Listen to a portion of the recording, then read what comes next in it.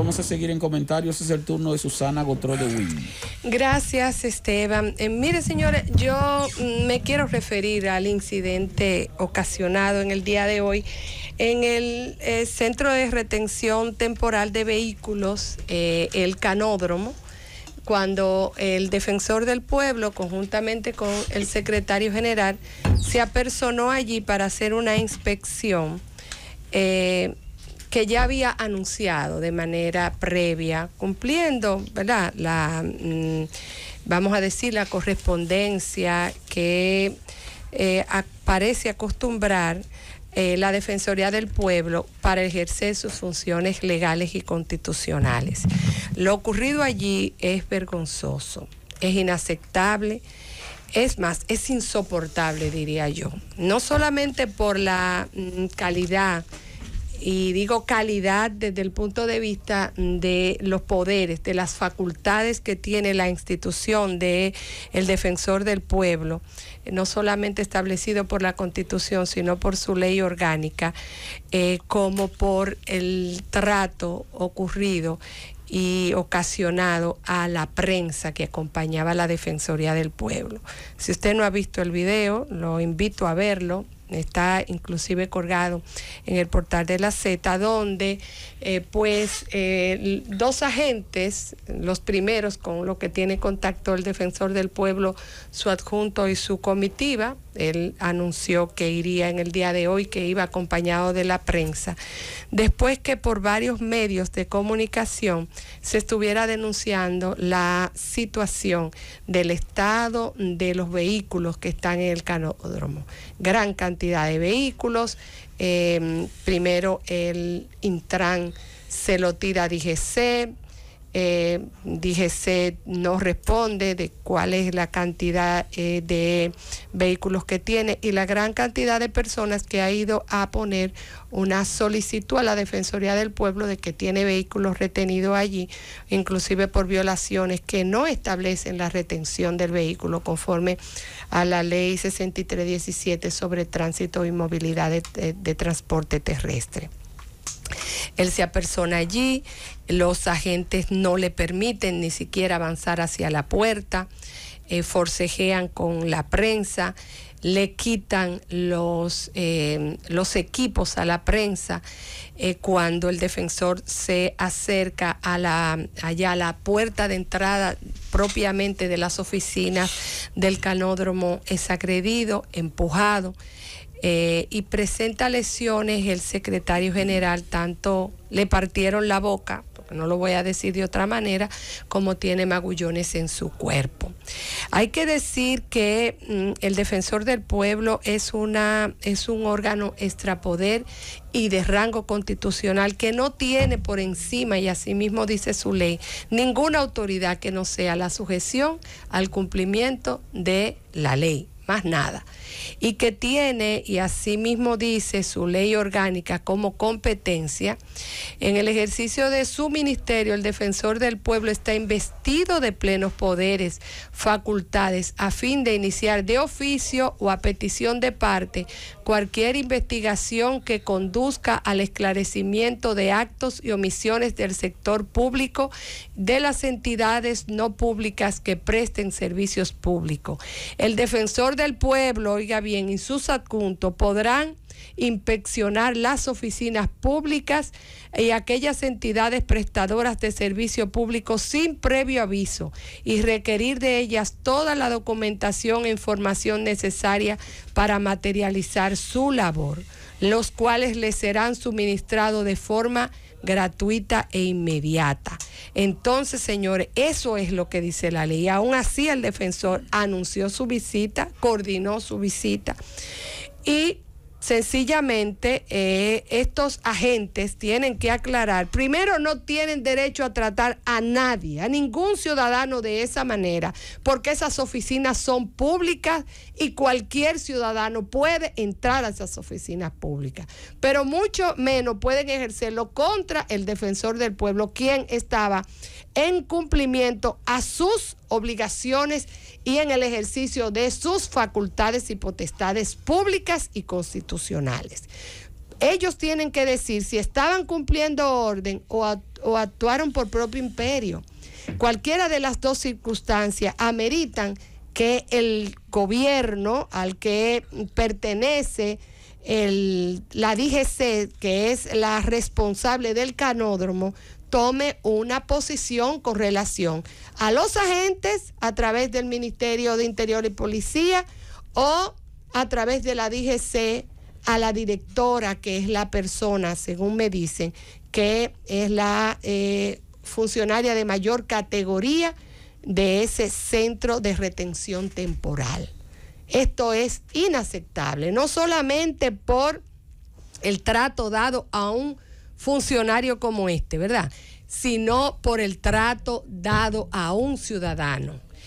Ustedes a veces demandan que, y decían, y, me acuerdo cuando se estaba en la designación, elección del defensor del, del pueblo, ¿para qué sirve la Defensoría del Pueblo? Habíamos tenido una primera defensora, sabemos y, no viene a cuento las limitaciones que ella pudo haber tenido, la visión que ella pudo haber tenido del ejercicio de esa institución.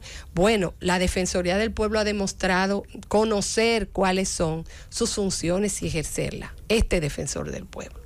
Y creo que lo menos que puede hacerse es acompañar al defensor del pueblo cuando está cumpliendo su deber y cuando está haciendo que se respete su autoridad. Y le decía varias veces el defensor del pueblo en el video, yo soy la autoridad, estoy investido por el poder del artículo tal de la constitución y de mi ley se la enseñaba a los agentes y sencillamente lo único que obtuvo fue empujones, empujones y maltrato. A la prensa, dos, hay dos, eh, creo que un fotoreportero y una periodista, una reportera, eh, el reportero gráfico y la, eh, la reportera que levanta las noticias, que también fueron empujados y que se van a querellar contra los dos agentes. Y el defensor del pueblo se dirige, creo que está ahora mismo en la Fiscalía del Distrito Nacional. Entonces no podemos pedir autoridades fuertes, no podemos solamente hablar de Ministerio Público Independiente que es una buena aspiración y que respetamos y, saludamos de, esta, de este gobierno. Pero en este caso, ahí sí le corresponde a hacer valer la institucionalidad.